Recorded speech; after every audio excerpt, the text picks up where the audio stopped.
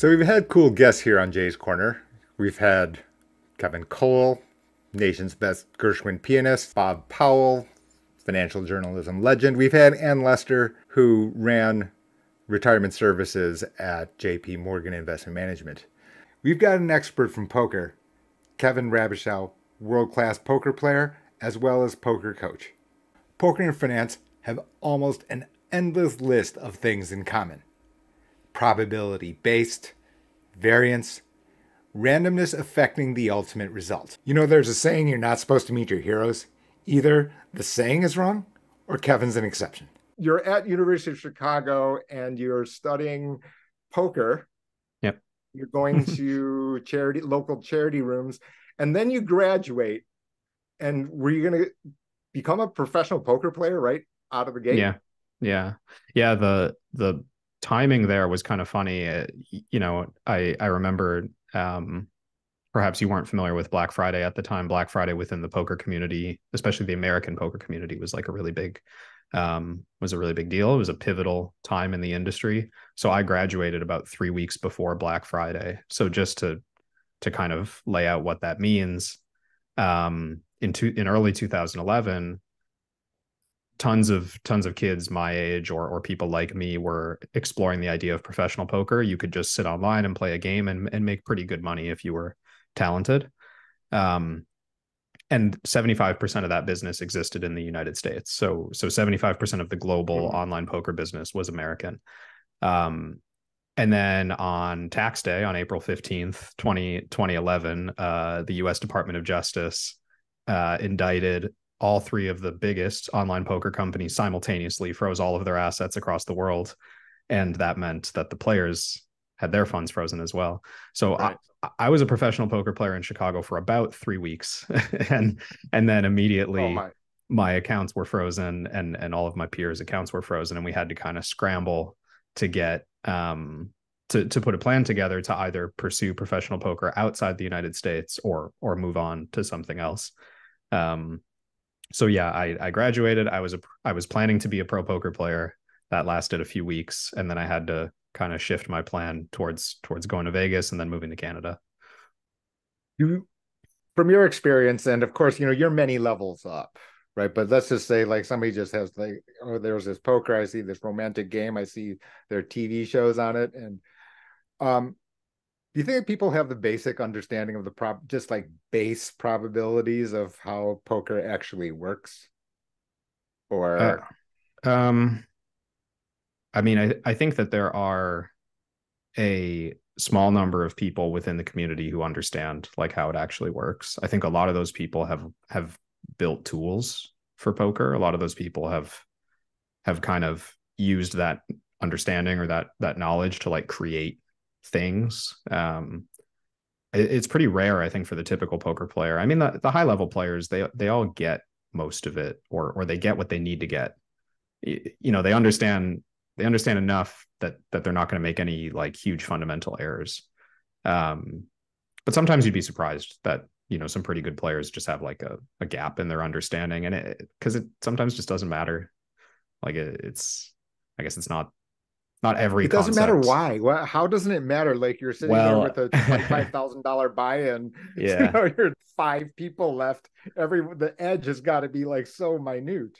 Yeah, I guess I'm thinking of like, like there are there are fundamental, let's say like there's mathematical or like statistical building blocks to you know a, a game. Like there's there's game theoretical knowledge in the educational sense that like if you didn't fully understand it, you could still win money or or you know maybe if you don't fully understand like um for example like why an equilibrium is an equilibrium or like if you don't understand you know what makes an e- like a multiplayer equilibrium unstable like those are relatively advanced mathematical concepts. Does it matter so much to like your poker strategy like how well you execute your poker strategy that you understand those those kind of more advanced mathematical concepts? Like maybe not. I i think you know it's certainly beneficial to understand it but like not everyone's going to get it and that that doesn't necessarily hurt them as poker players what people don't know probably uh, you have company uh, with people who are educated like you or with backgrounds who are studying like you have had Yeah. Yeah. I mean, like the like the people that I spent time with in university uh were other poker players. And like a lot of them, a lot of them are still professionals. They they've gone to different places. You know, some I, have like close friend in Chicago, close friend in Macau, you know, uh, like a bunch of people who I guess we we interacted with because we were all kind of in the same circles and I mean there's a, there's a lot of people um, I think in poker with with the same sort of story. Uh, I guess it's just a matter of like being lucky enough to find the time to play poker when you're also swamped with your with your uh, educational work, right? So wait a minute. You went to University of Chicago, and for you, you know, it's a, it's that quirky school, right? I mean, it doesn't. It's yeah. not Harvard. It's not Stanford with the with the bigger names, but you know, pure academics would absolutely put it as equal for sure. Yeah. What what are what are mom and dad Rabichow saying? that's a, yeah, that's a fair question. Um, when when my mom retells the story now, uh, she she frames it as if I kind of tricked her into letting me like go go into professional poker because I kind of framed it as this temporary thing, like oh, you know, I'll just I'm gonna go to Toronto for six months and try things out and see how it goes and I, I know for many years in the back of her mind, she's like, so when's he going to get that master's degree? Like, when's he going right. to go? when's he going to get a right. real job? Um, I think my dad was just, he, he thought it was cool. He was on board um, pretty Is early right? on. Yeah. I don't know. My, I mean, my parents are great. Like they're, they've just been really trusting and supportive of, of me, like more than what it is that I'm specifically choosing to do. You know, it, it's just gotcha. kind of like, I, bring them ideas and they just believe me, you know, and they they haven't seen me crash and burn yet. So I guess I've I've built up a a bit of trust with them over time. But yeah, even even 21 year old me saying like, yeah, I'm just gonna pack up my stuff and go click buttons from Toronto. They were like, all right, have fun, like be safe. That's quite a change because obviously that's not the standard track at the University of Chicago. I mean, it, by, by, it, by it was hard. Distance, I mean. I do I do think the the sunk cost on the tuition was hard to stomach.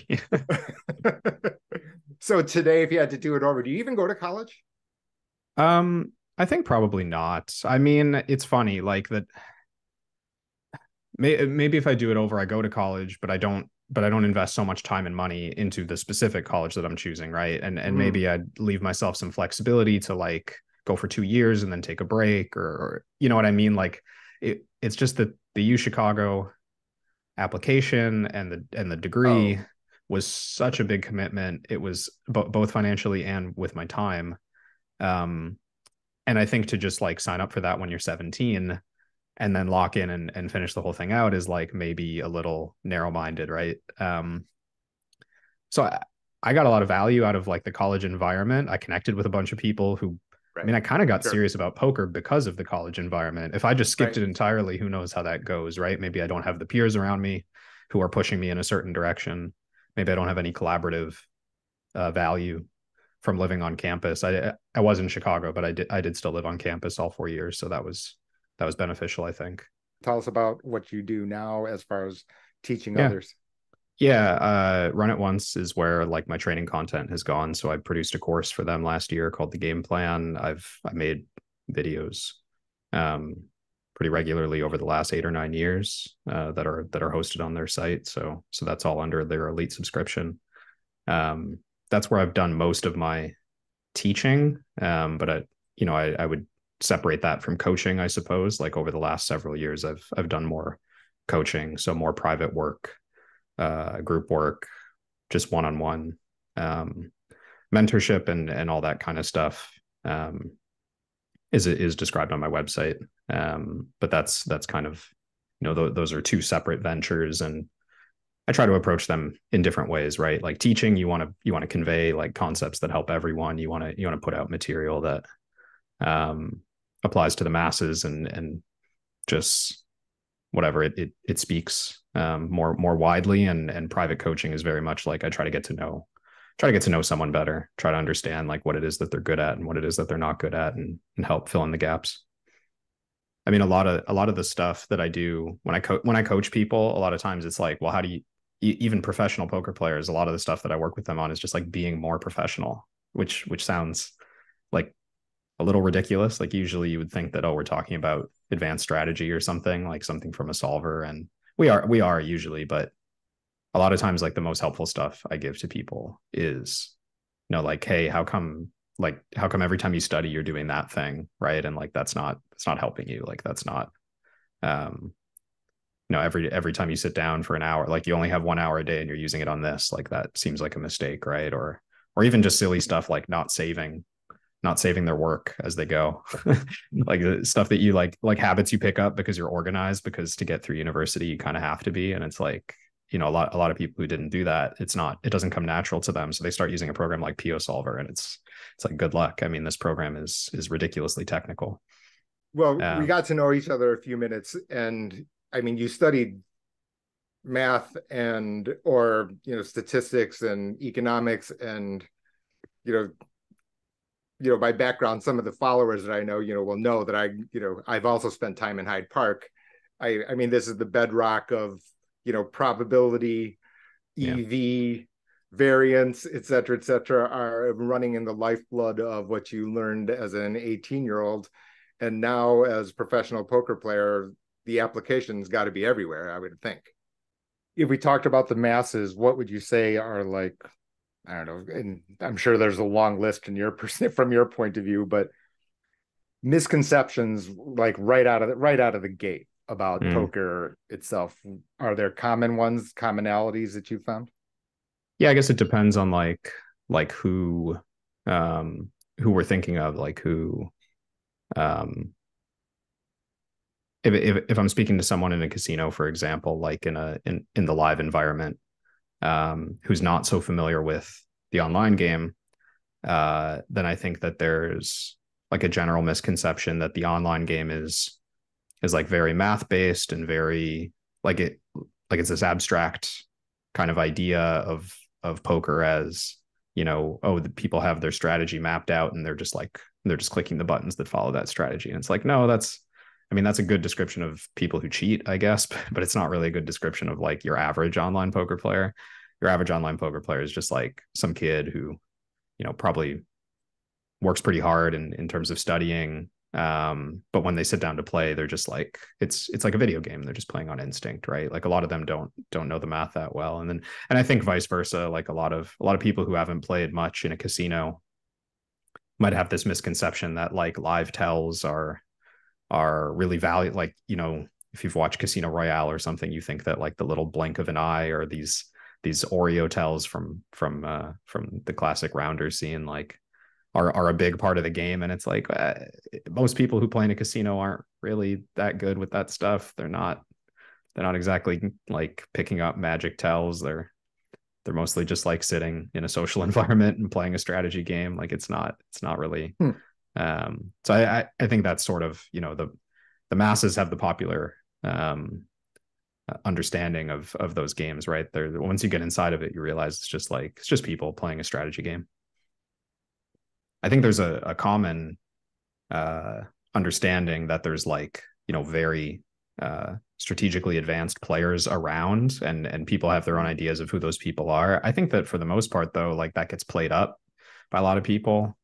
Hmm. Um, there's just there's just so many poker players. Like poker is such a popular game, like worldwide or or especially in America. Yeah. Like poker is such a popular game. There's so many poker players. There's there's only like the community of really really advanced players is quite small relative to to how big poker is. So I, I think that um yeah, I don't know, like the reputation some some people's reputation just gets like really really blown up because it's like oh you played in that game or oh you did that and like I don't know even you know I feel this myself too like if you talk to if you talk to me about like uh how I'm feeling when I'm playing a game, right? Like I'm being super critical. I'm thinking about all the stuff I can change. I'm thinking about all the mistakes that I made. Like, uh, you know, it, with within within this world, it's like, oh, we have so much to learn. We like there's there's so much improvement to be made.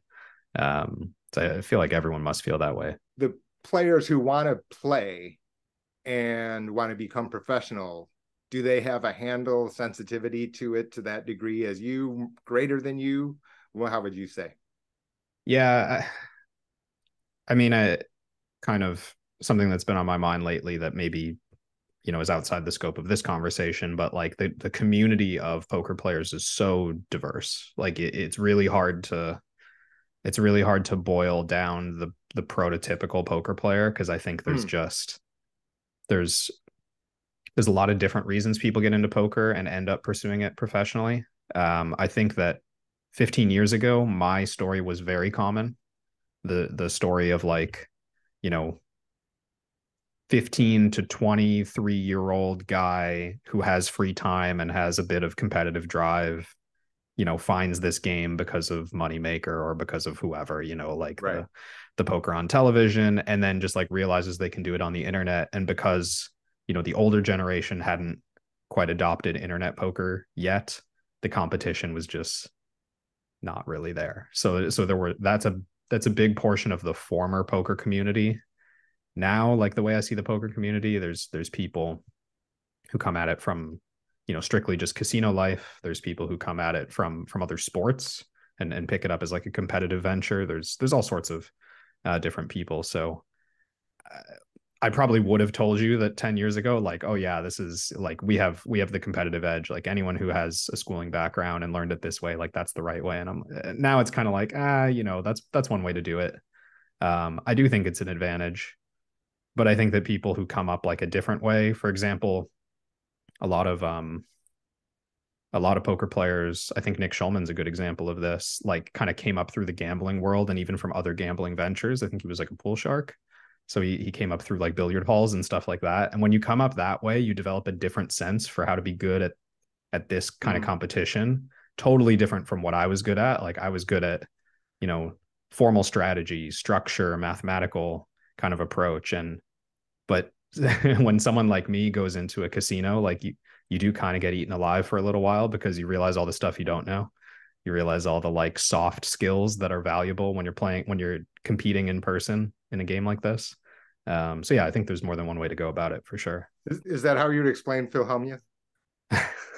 it's hard to, uh, I don't know. It's hard to explain Phil Hellmuth in just a few words. He's, um, but he, but he's from the '80s, right? I mean, he he grew up in a in a different type of competitive environment where different types of skills were valuable. And I think I think when he was young and like when Daniel Negreanu was lo- young and those guys like Erik Seidel, whatever, like when they were younger and they and they got into that world, like they were just different. They just saw everything different than the competition. Um, so that's probably a good thing. you know, it's pretty funny because you see also fair amount of rocks being thrown at Phil Hellmuth, right? Uh, as far as you know, he's bad, he's you know he stinks, etc., etc. Yeah. And then you can also and you know poker players being well let's not be result oriented. We run this you know exercise a hundred times. We're right yeah. you know a third of the time it you know and you're priced in you call et cetera et cetera. Yeah. but not and so you could have made the statement well phil hellmuth was lucky once but this is a lot of times of, of it's it's true. it's true. it's, i mean I, like i think poker is interesting. It's kind of like I I wish I was more into golf because I think that golf is like a reasonable comparison to poker where the the people people can have 40 50 year careers in the sport which is like very different from most athletics right like most of the right. time when you hear when you hear like Charles Barkley on TNT like pontificating about the centers of today or whatever in the NBA, it's like it doesn't matter because he's not still playing and is he's not trying to compete in his 50s with the kids who are in their 20s. So like it's it's just different. But poker, I, I guess for better for worse, like you can have people from four decades ago, completely different approach, completely different generation, actually competing today head to head with new generation.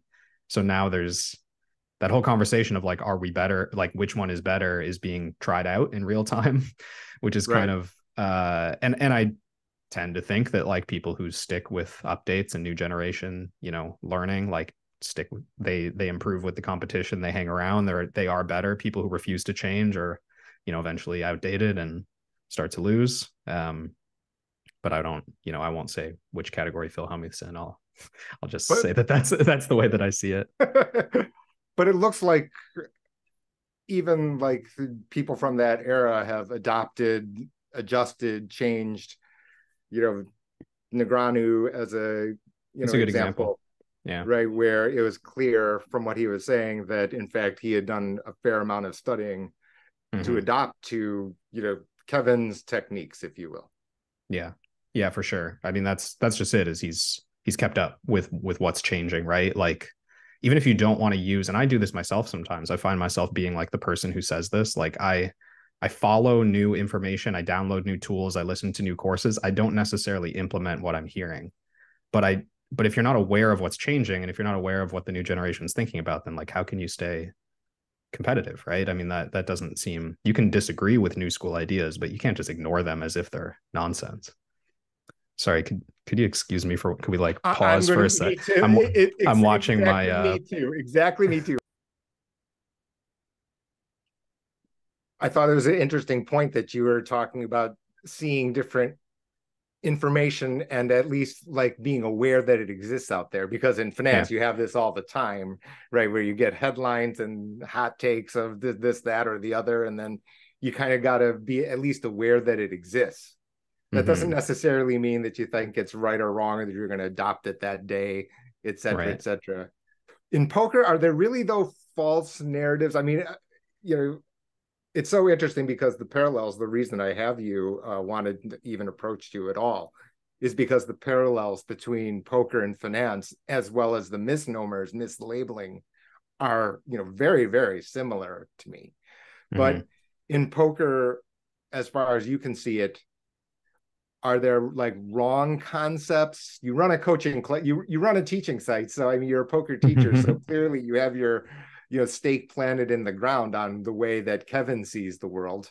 Right. Uh, do you see wrong on the planet as far as poker um, coaching information? I mean, what I, what I see is like, uh, so I know that Phil Galfond has has written about this in his newsletter recently, and I think the stuff that he puts out is like really similar to the way that I think about learning in poker, which is just like there are really common uh i might call them heuristics but like uh, there's this like ingrained uh incentive for a lot of people to think a certain way. Like you you have uh really old school ideas that have never faded i guess is is kind of what i'm thinking about right? So like uh bluffing when you have a chance to to draw to the best hand as a as a broad concept as an example of like people who are getting into poker learn about semi bluffing and they get really attached to this idea of like oh when i have a chance at making a draw i bluff with that hand. And and if that's your whole idea of bluffing well it's you know it, it's this tiny tiny piece of information that may or may not matter that's guiding the whole way you think about bluffing. And a lot of people don't realize they have that sitting in the back of their mind right? So i see a lot of that um, coloring the way that people approach strategy coloring the way that people think about what's right and wrong and and not not not as much like yeah, not not bad narratives, not false narratives, but just like maybe misguided um, rules that that determine the way everyone thinks about the game. That is so fascinating because I could, like I said, and I, as we pointed out, I could draw a direct line between, you know, the exercise of poker generally, and then also even like the learning and the information. Like if I could tell you that about finance, for example, it'd be like the, yeah. in fact, entire newsletter that I have is all about debunking. You know, this isn't right. This isn't exactly this. Yeah. Isn't. And then what ends up happening is like you know, right? There's like survival. Then all the you know behavioral biases. You know, the entire behavioral finance. You know, the biases, availability bias, confirmation bias, et cetera, et cetera. What you know, what you'll call results oriented, et cetera, et cetera. And and yeah. now off we now the uh the snowball starts rolling downhill and all of a sudden it's like an avalanche and now you've got do, do you find in your teaching whether or not uh, one-on-one or to the in your classes that you're spending time trying to unwind it i mean yeah. or in, a weird way i would have almost liked you to hit clone yourself and your ideal student is another 18 year old kevin right where you don't really yeah. have pre-concept yeah yeah, I find, I mean, uh, you know, I, I, guess two things come to mind. One, for sure, a huge part of my coaching, and, and I even put together a course almost entirely around this concept, is like most people are not approaching learning in a systematic way, and the, and the way that they learn by default has has just led them to focus on like the wrong things and and pay little to no attention to other things not not focus on the wrong things that i shouldn't say that but just focus on a limited scope of of what you know the game is and not focus on the whole thing. Um, or they have these misconceptions that i that i do. It takes a while in private coaching i find to really like catch. You, you have these little aha moments when you've worked with someone for five or ten hours and eventually they say something that it's like oh do you, right. Like have you always thought about that? Right? Like it, it it just pops up every now and then it's like oh wow. Like okay let's let's work on that. Like that that needs to go. Um right sure but then uh, then also like you know the fresh 18 year old who's just getting into the game even they have their own like they find poker with a certain lens on it you know they, they've got a limited idea of what what is important in the game and what isn't important and when I when I play against like 21, 22 year olds who have done really well online and maybe we we play in the casino for the first time, I think even they like I have a good idea of oh like you're good at these things but not those things. Right? So everyone kind of has their um their limited area of expertise. And a lot of the coaching is just about finding like okay you're already good at those things. Let's stop devoting time to those things. Let's find those things you're not good at and and push a lot of attention over there. Is it a thing of order or is it like it, it sounds so similar when, whenever somebody asks me about you know some concept about some financial contract it could be simple it could be yeah. complex. But then like you pointed out and then all of a sudden some like line comes out in an email and i'm like wait a minute wait a minute we you know we've got to back up we've got to back yeah. up not one step we've got to back up four or five steps yeah. to kind of start over here because this is so far off base and if you're considering all the other you know adjacent topics around it with that mm-hmm. theory thought process in mind all of a sudden you realize oh we're off track yeah on your coaching so then this sounds like it has to be fairly constant your communication because it's you're you're not sitting you're not living with them or et cetera et cetera. Yeah. they're just telling you a sound bite et cetera about a particular situation yeah. to make sure that it's ingrained. Do you, are you worried that you know they hang up the phone they, they you know, discard what you say or just revert back to old habits or how does that yeah. Work? i mean that's that's definitely always a risk. I uh I for a while I thought of poker coaching a lot like uh, physiotherapy because I was I was having I had shoulder surgery like six years ago and I was uh, I was working with a physiotherapist and I realized like wow so much of your job is just getting people to the point where they think they they are better and then they leave and they never come back and they're and they just get worse at some point and then they come back and and I was like oh that's that's so similar to what I see in poker coaching. Um, I've I've tried and it's hard to do this for everyone, but I've I've tried to make my coaching more uh, mentorship like, so mm-hmm. more mm-hmm. more consistent communication with the student, uh, more formats of coaching, like not just let's review hands on this call, but also let's have a chat group where we talk back and forth pretty regularly let's have you record some videos of yourself playing and and speak while you play and then send that to me and I can review it and I can take notes. That one's really good for for catching like the the negative um uh you know heuristics in their in their thought process. Yeah poker out loud's great. Uh, shout out th- why. Yeah. I thought that was a i thought that was such a great concept and i was going to yeah. make like i wanted to make a whole course around that concept. It never really came to fruition but i i thought that understanding the way I even did a, a run at one series where I analyzed the it was like a meta analysis of the analysis in poker out loud. And i was trying to catch i was trying to catch all the places where my thought process was flawed or or my opponent's thought process was flawed because we're speaking while we're playing. And like a lot of times you know you don't think that clearly while you're playing. Um that I, I stuff is you, really interesting to me. I, I thought so too. And you know shout out to them you know in the format right? Because yeah someone like me knows how to play kind of you know has some idea like i've never used gto wizard or ruse et cetera et cetera although if yeah. i see the grids the pre-flop charts et cetera et cetera i will understand okay well how they conceived and work so you know yeah. recursively work back to how the machine actually created it yeah but watching poker out loud and listening to pros talk about it i mean a couple things first of all it's like crazy the speed and just due to practice, et cetera, et cetera. And yeah, you know, this this hand plays such and such, you know, two, three streets down the road, et cetera.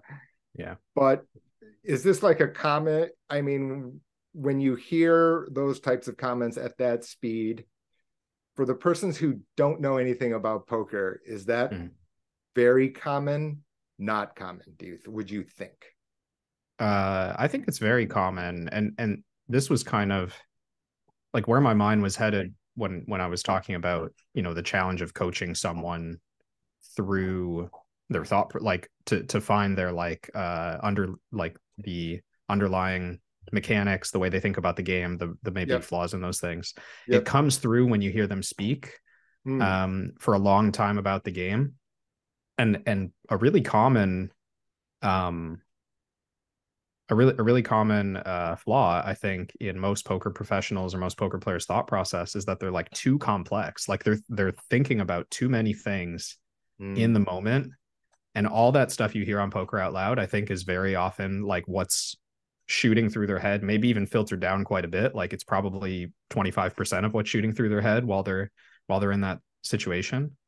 Um and i and, and when i work with higher level players I find it really valuable to like, okay, let's let's cut away, cut away, cut away, right? Like a lot of the stuff that's swirling through your head is I, I don't want to talk poorly about training sites because I work for a training site. I love training sites. I just think that the way we've taught poker for so long has been people lecturing on video. And hmm when when the whole way you learn the game was just listening to people talk in long form about complicated strategy then you then your thought process starts to mimic that. It's like oh well when i'm in this spot i'm supposed to be thinking about x y z a b c d e f g and it's like that's too many things. Uh you need to you can't practically make a decision.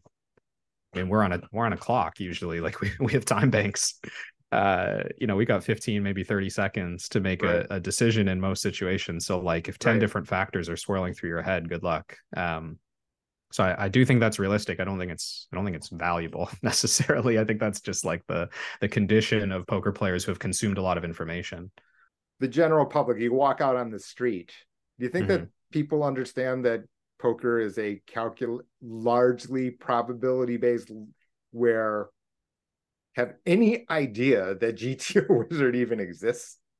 That's a that's a good question. I mean, uh, I guess in in my in my world, like everyone knows that, but right, I'm I'm not sure. I mean, I don't, and and I wish I had the time to kind of like this. This is what I meant at the kind of the beginning of our conversation about the poker community being so vast and diverse, and like my concept of the poker community is, you know, pretty. Even if they don't practice or or study they've heard a conversation at a poker table between two pros about a tool or about GTO or about blockers or whatever, like probably. Um, but if their whole life is like a home game where they don't go to casinos, so they don't interact with pros, then no, probably they don't know anything about it uh, unless you know they've seen the advertisements on on whatever uh, broadcast. You get a lot of ads now for GTO Wizard or for Prometheus or whatever program, right? So I, I guess people are finding out that these tools are around. Maybe they have like a little idea of what they do. Does the poker community uh, know that these tools, even such and sophisticated as they are, you know, kind of exist in other walks of life?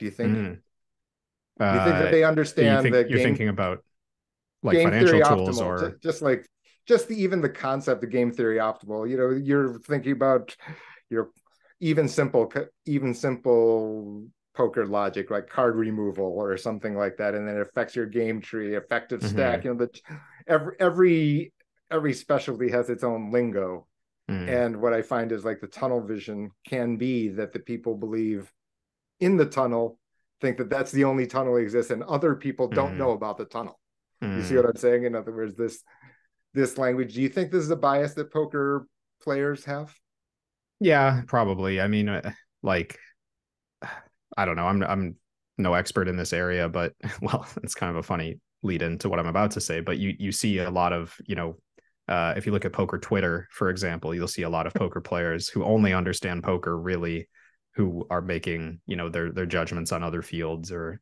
kind of yeah. preaching their knowledge in other areas and it's like man you probably you probably spent like 20 maybe 30 hours on the internet reading about that thing like you're not you know you probably spent like i don't know 50,000 hours on poker by now like this these are not these are not the same for me what was one of the most fascinating competitive situations i've ever seen mm. which is you know young man landon tice against phil perkins so you were involved to some degree so is that right, Kevin? I've seen. Oh, I was. Oh, I was very involved. Yeah, I was. That was like my whole life for maybe four or five months. Yeah, for four or five months.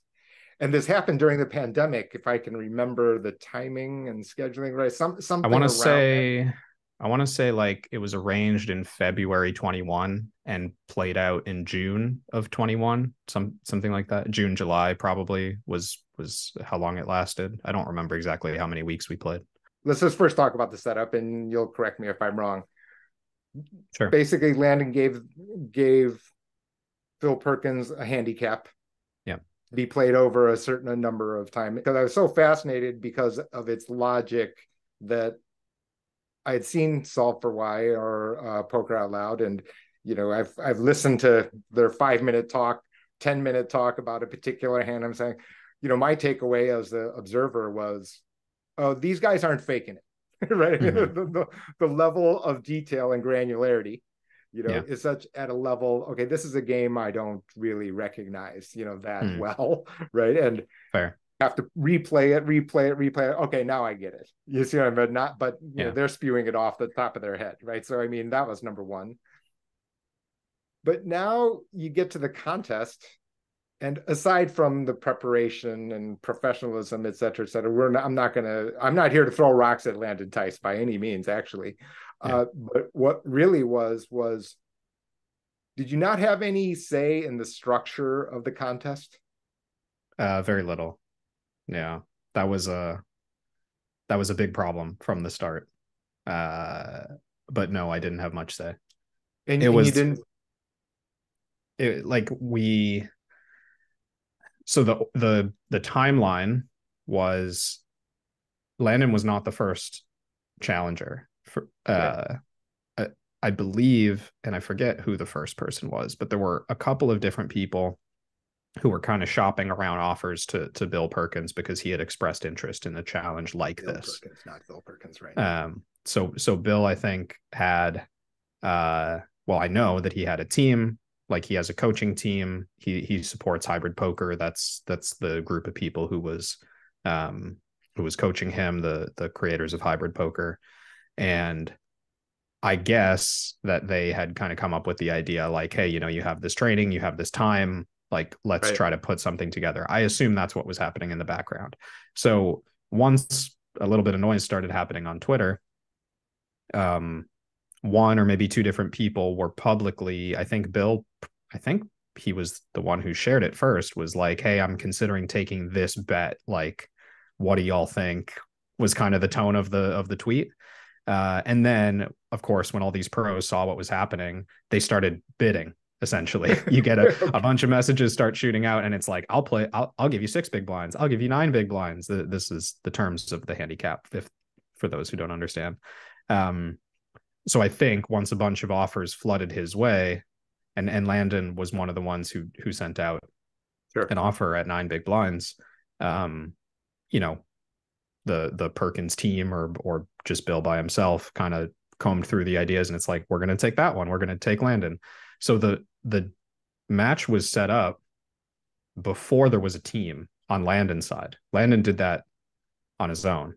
Okay. And then after he after he books that over the coming days, it's kind of this scramble to to be like, okay, can can you get can you coach? Can you do data? Can you you know right. work on financing? Can you all all this stuff, right? So the team's getting thrown together all the while Landon and, and Bill are negotiating terms. So it, it it was like this chaotic coming together of of the setup by the time the team was formed, that. it was like, okay, well, this is what we're dealing with. Like these are the terms that are already in place, so we have to do those things. Like let's do the best we can.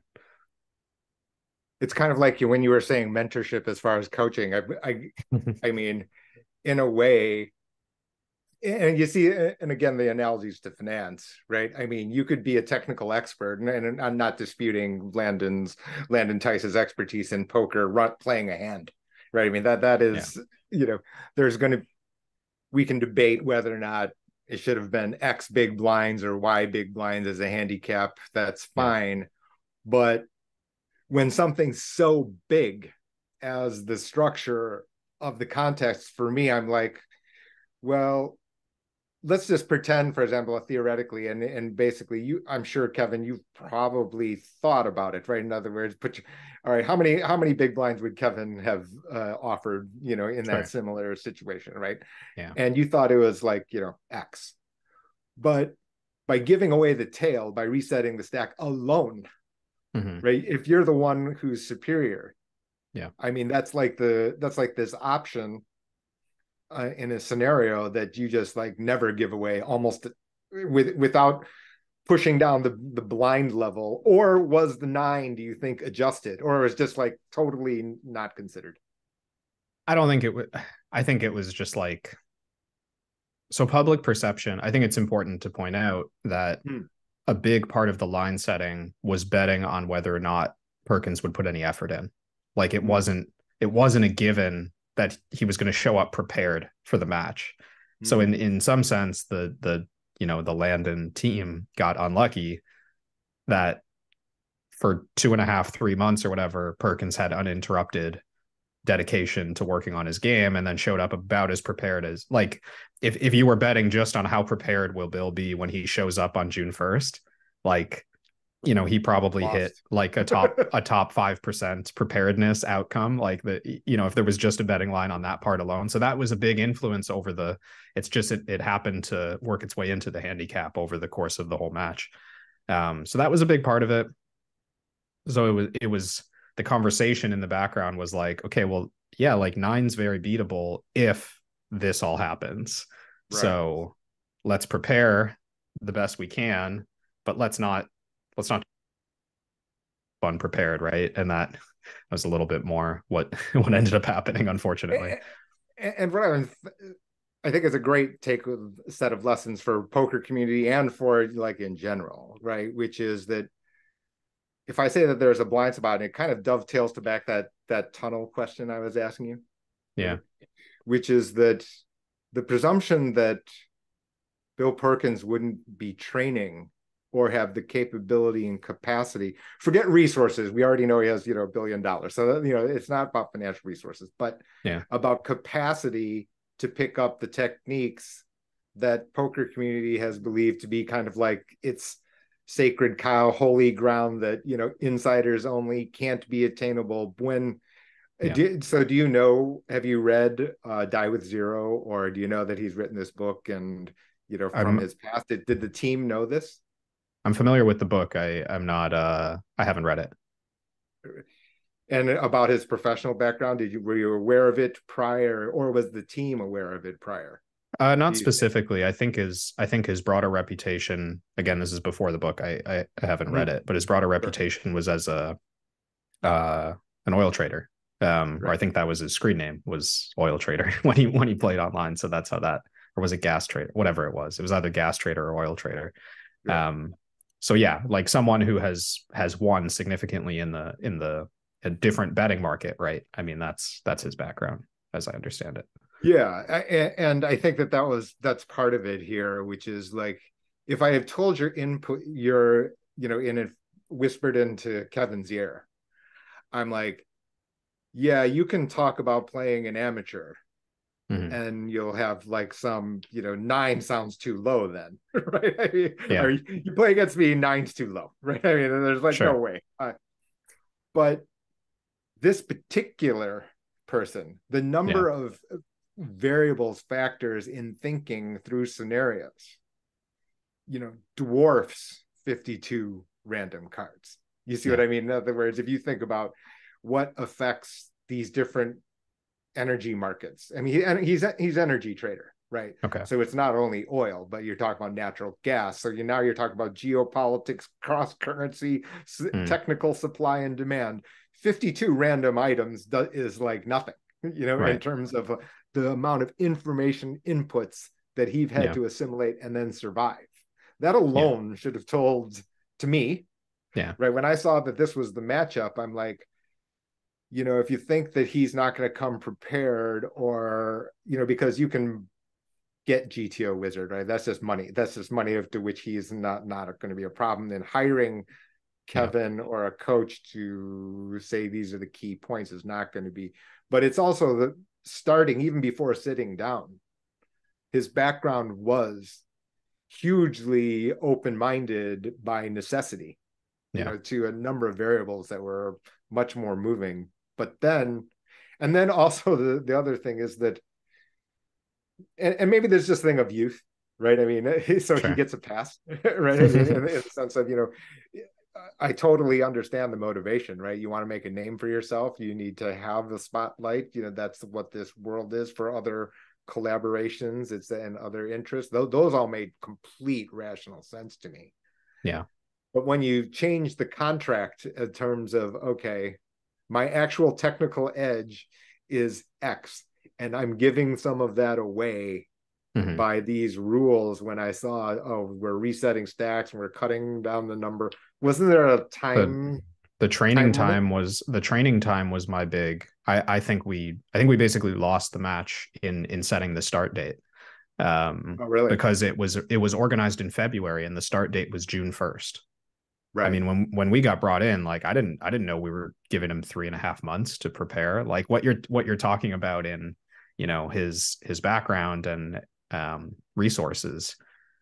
That's all kind of meaningless if he doesn't have three and a half months. Like if he only got two weeks, no, if he only right, got two no, weeks to prepare and now he has to like battle it out in his current state while he gets better okay well uh, then then the match is no problem but it's like he gave him this gigantic window of time to just throw resources and and knowledge at learning the game i mean of course he closed the gap right uh, yeah in finance, like in this contest, basically what happens is Bill Perkins did exactly what consumers should do in terms of finance. Bill Perkins was the challenger. He's not a professional, he's not a full time professional poker player. He needed to close the gap. How did he do so? He did two things. He had time, as Kevin pointed out. In addition to that, he changed the rules of engagement or negotiated it wildly in his favor. In finance, you have to understand the rules of engagement. At certain points in time, you can have the factors being wildly in your favor at the right price. And if that performs a particular financial function that you require, then then is the time to engage. Only then. Because in that same situation, Bill Perkins just like a technical playing of, you know, 10,000 hands or whatever, he would have known that he's disadvantaged. He needed to get it back. How did he get it back? He bought himself time and also the contract was different. So I've been involved in derivative contracts around the globe. And if I could basically try to summarize what it actually is as a whole, as a whole thing, it is party one is trying to buy back tail risk from party two at the lowest possible price. And you know where derivatives are rampant, where they exist everywhere? Oh, energy trading. In other words, you walked directly into an area where Bill Perkins had an abundance of experience. The number of different examples where this exists in finance are endless. In fact, I've now told you about Maximize Your Medicare, my published book. I told you about the second book where I have a publishing agreement. I told you about a newsletter. I told you about two YouTube channels. Let's just get back to Kevin instead.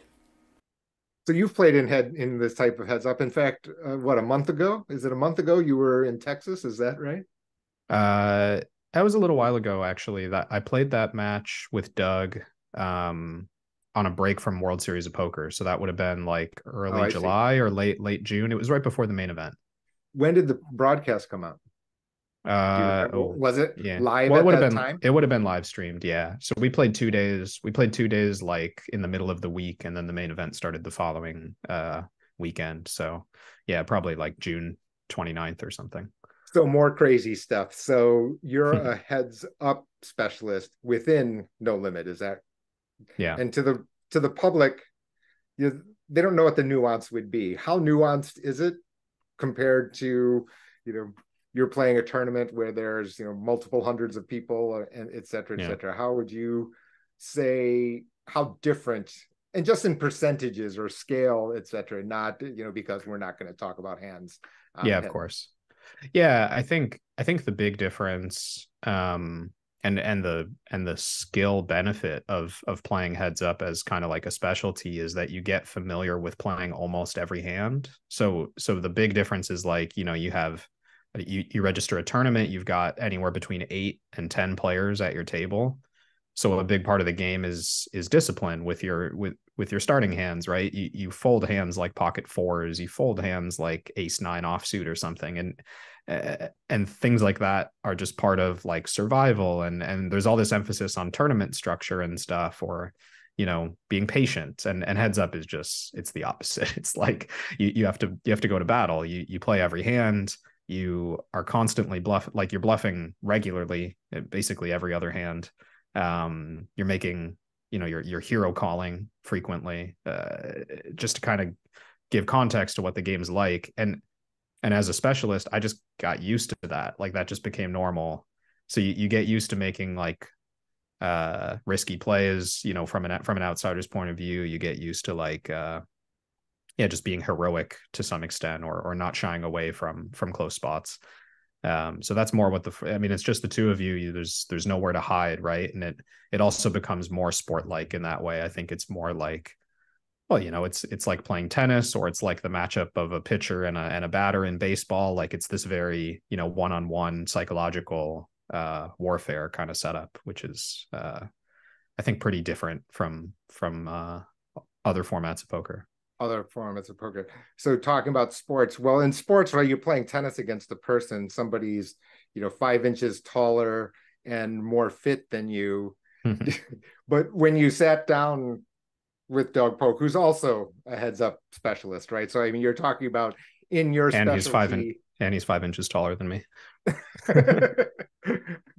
but you you see my point. You're in your your exact specialty against yeah. another person who's in his exact specialty. Yeah. So why would you do this? I I mean Did you think you're gonna win? Did you think you were gonna win, first of all?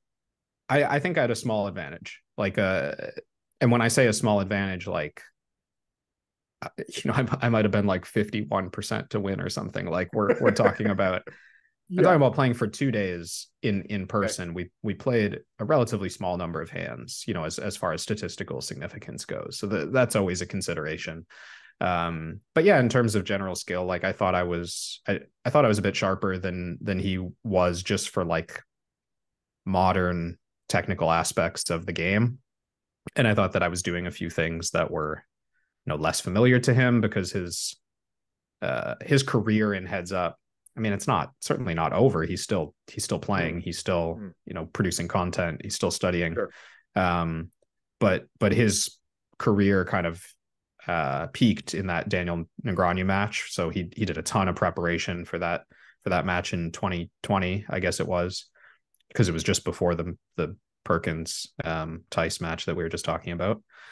And uh, from that point, I I assume that was just like the end of his study, right? So I kind of knew, and I watched a ton of that match. So I knew pretty much exactly where I thought his game was going to be at.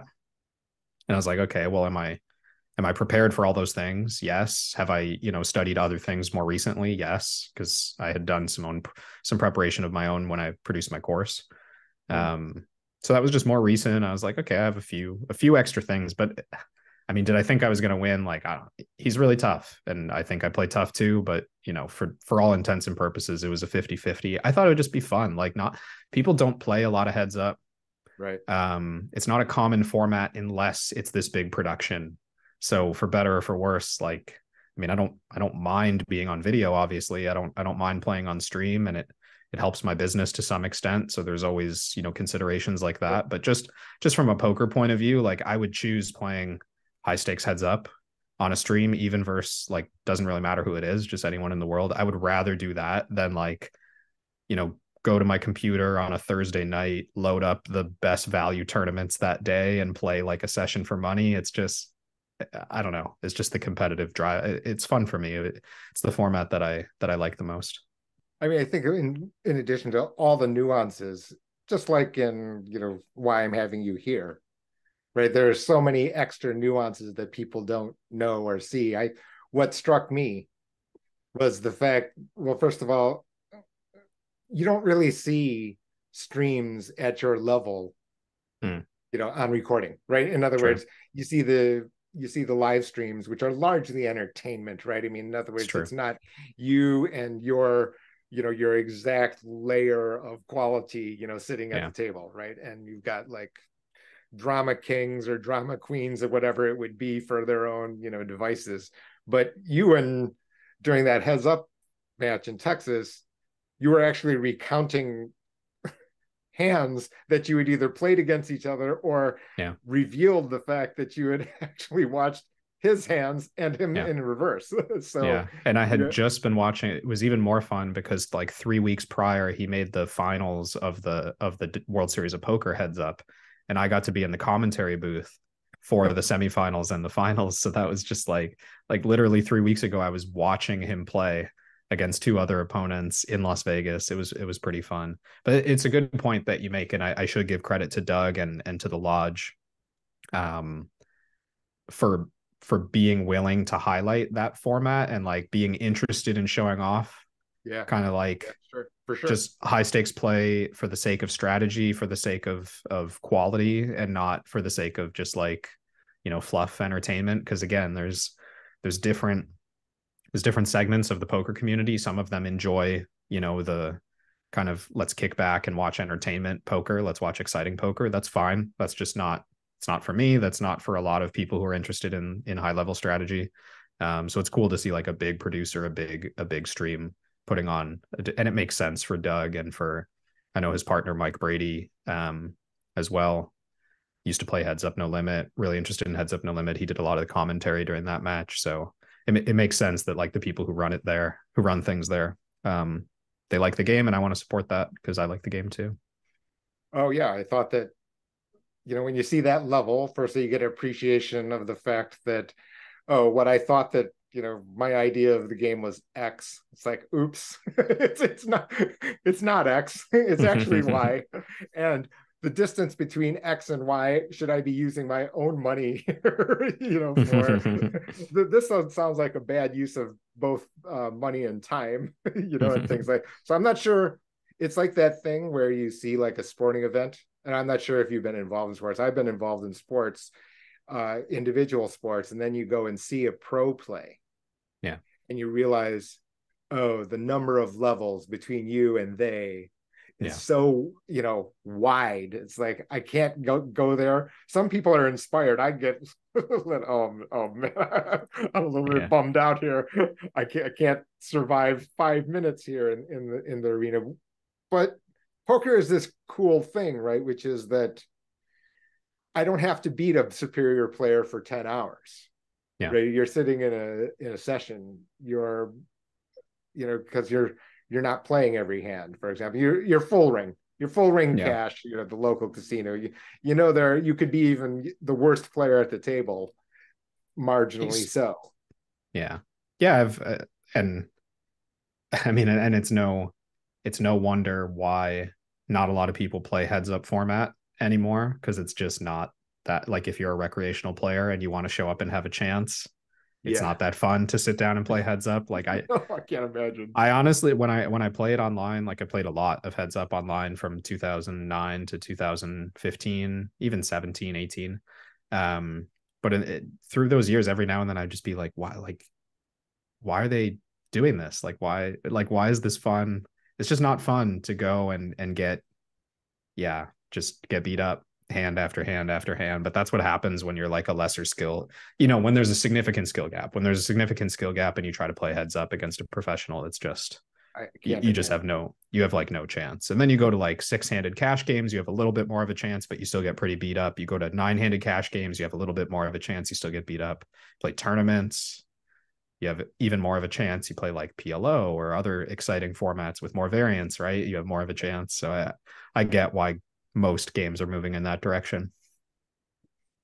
You got now you've got a new set of headlines, which is kind of cheating with mm.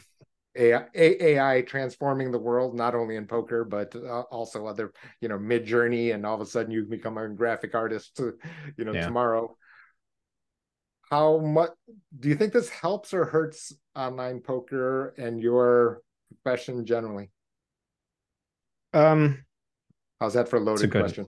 it's a it is a it is a loaded question. I have a lot of thoughts on this. I was actually just recording a, a video about because I'm updating a few things in my in my course um for for like the first anniversary. Um and I talked about this a bit because okay, so my my point of view on on if progress like this is good for poker is is almost always yes because I think that it is misguided to try to like contain poker as this thing where like skill will not progress and knowledge will not progress and let's just like keep all the dumb money playing as long as possible and squeeze every last penny. Like i just don't.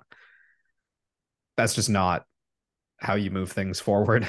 Obviously i mean that's the opposite but uh, i just don't think that's healthy. I don't think it's healthy to like try to insulate things and and prevent progress from happening um but that's also my point of view as a coach and like uh you know someone who benefits financially from from training tools getting better in in some areas of my game although potentially i i lose financially in other areas if if i get cheated.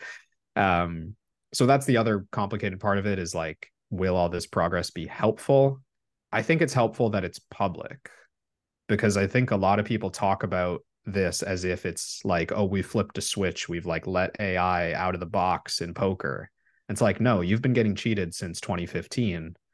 right. And now it's in the public sphere. And now we can actually enforce security measures. And now we can cooperate with the sites and make it more viable to catch cheaters. But like, let's be real. I mean, be, like people have been cheating at poker ever since the origin of poker, right? And and it's just when you when you move tools into the public and you teach people how they work and you let people use them at a lower cost and you make them more available to all the the the sites that um, enforce security and, and enforce gaming regulations and all that stuff, then like you make them better equipped to deal with what they're what they're up against. Um, it, it's a little bit outside of my expertise to say can online poker handle these tools. I I don't know. I mean, it's they're really powerful. I I get that. I don't really have an inside look at like what cheating prevention looks like from from the other side. Um, but I I do just kind of generally feel like yeah, this is this is just major progress in the public training sphere. That's good for me. I think that's good for poker. I think that's good for players. I think it advances competition. I think advancing competition is just good for the general industry. Um, but for online poker specifically and the safety of online poker specifically, I think a lot of that hangs with how the operators handle it. The operators. And and how the and how the gaming like uh, regulators handle it. I mean, if I just play devil's advocate just for kicks, uh, one would be that okay, so I'm now 18 years old. I, you know, play this fascinating game. It's probability based, etc. But then I realize, oh, there are all the the competition here has have have access to these. Well, first of all, there's I don't know anything about poker, and all, I thought it was just you know you show up in holsters and a you know cowboy hat and you mm-hmm. you know yeah. you, you, start yoloing everything et cetera et cetera yeah. but i think the the fact that ai is involved is telling people you know very similar to dfs right mm-hmm. we, we, i'm not sure if you have ever you know like draftkings they've got uh, I, have, these, I have a loose familiarity yeah yeah I, I mean you're keep creating a portfolio of teams and when i listen to their podcast i'm like well, actually, this is just a portfolio optimization that they're doing when they've just tweaked a parameter. And, yeah. and literally that, and but now all of a sudden you had this idea, well, I got some my my favorite player is playing against a bad team on Sunday. I'm going to just pick him. And that becomes the basis of your team yeah. selection. And now all of a sudden you realize you're playing against simulators who are running optimized portfolios of teams, you know, yeah. and then and having 150 entries or whatever it is, whatever their maximum is, and you, and you realize yeah. as a recreational DFS player, well, sorry, you've just torched the, your twenty dollars or whatever. Yeah, you're, you're in poker. Don't you have that? Don't you run that risk? Yeah, for sure. And and something that came to mind just in terms of like um cultural shifts over over generations of online players even like if if i think if i think back to the people who were playing online you know in 2003 or 2000 i think the the online started to really pick up in like 2005 and onwards but but it existed in 1999 i believe. Um those people had no tools whatsoever right? You log on you open the site you play. But right. after a few years tools like like trackers came out where you could you know download the hand history uh in real time and and you could store your results and you could store statistics and like all of a sudden those people had an edge right? And you know but within 5 or 6 years I'm I'm sure you found you know an earlier generation of professionals who thought like oh these like these kids are cheating like they're they're using they're using this advanced software to get an adva- you know to get an edge on us who are just sitting here playing like it's unfair right and then every new generation that came through had like a little more technical um, resources with sure. them and and the operators decide which ones are okay and which ones are not okay right so it, it, mm. it kind of becomes more and more accepted over time to use more and more technology.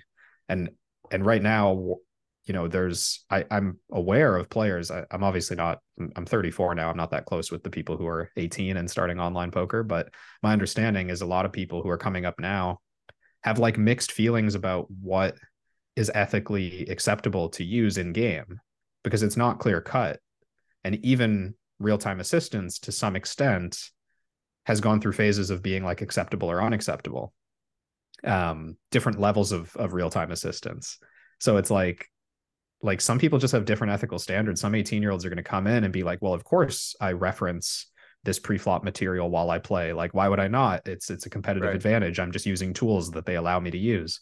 Um, or even if the sites don't allow it, it's like, oh well, I can use this third-party device. I can log into my virtual PC. I can use that, and it's like, oh, okay, it, it, for sure, it's okay. Like everyone's doing it, right? Like this kind of mentality happens a lot, and I'm sure it happens in. I mean, I'm sure when you get into the world of trading and all of that, I'm sure ethics at some point have like veered uh, way out of the picture for some people and yeah of course and it's all sure. and it's easy when you're wrapped up in this stuff to just like forget that you're competing against other people um and view everything as numbers on a screen and view everything as just like i got to find my edge and i get that like i've i've been there when you know when you're when you're young and you and you're trying to make money at this thing like i get it um, but I just have a different perspective on it when I go into the casino and I sit down with people and I'm and I'm actually playing like against humans and I and I meet those people. Uh, you know, that's that's why it's hard. Um, it's hard to define everyone as part of one community because like you do have these these bad actors, so to speak, who aren't even necessarily bad actors. They're just looking out for hmm. themselves mm. and they're not involved in the broader community and they don't care about the broader community, right? They just care yeah. about trying to yeah. trying to win, which is you know that's kind of fair to them. There's there are some developments right where they're trying to enforce safe or fair play or something like that, and I haven't. I just see like again, Twitter. Yeah. I'm just like scrolling through Twitter and see see them that what re reshuffling cards after they've been mucked and uh, for online. I, I want to say for PLO or something like that. Uh, oh. to detect to discourage you know people playing multiple tables or you know multiple oh i don't know you and your buddy like sitting at the same table you oh, know interesting same, uh, that the that the card would be put back into the muck if if you folded in other words you don't get to see your cards there's something on I hadn't heard of this, but it it sounds it sounds like a like an attempt to curb uh, collusion, like card sharing. Yeah. So you you get rid of the advantage you might have by sharing cards, sharing folded cards with another player. Oh, that's right. an interesting idea. I hadn't heard about that. Yeah, I think it's just over this past week, and like I said, yeah. you know, I I like to procrastinate my professional work, so I just I have like poker content running on podcasts, et cetera, et cetera. Like, yeah, just just to avoid like the, the real world, uh, like many people, I'm sure. sure. Yeah, but you know, things like that. Technology can be twisted, can be adopted to do that, and that to me sounds like w- without knowing a thing, right? Just being an observer, a casual observer. Mm-hmm. It'd be unsettling. It'd be unsettling, right? Because you've mucked and then you end up seeing cards. Uh, let's just say now, now your turn card comes up. Yeah, that is. Yeah, I I mean, it's yeah.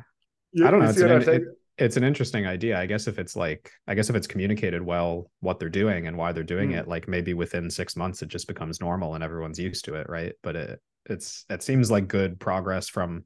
I like when operators try stuff like that because it gives me faith that they care about this problem. There are some operators who have just like no, and I don't I don't want to single out because I don't know every detail of every operator, but like there's mm. there's just been some operators who over the years have had this reputation. It's like, oh, you just you just don't play there. That's the site you get cheated on, you know, like that. And and it's hard for me to like to see that some sites treat poker that way, but other sites obviously care. Um and and when they implement stuff like that, it's clear that they care. Well, I mean, the money alone, right, on these sites would dictate that they should care isn't that the i mean i, I just what what i find weird yeah.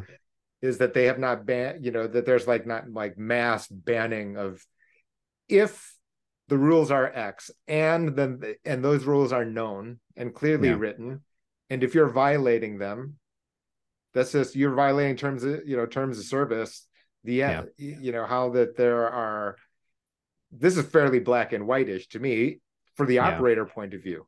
I don't I don't know. I think I mean, it should be. I, I I think some of the sites I think it's easier when you have a large budget and you have a lot of revenue as a site. It's easier to like set aside funding for security and set aside funding to like, you know, develop new features when it comes to mm-hmm. security. I think there's some networks who have just been kind of steadily declining over the years because they're just they're not that big and I don't think they invest much money in security.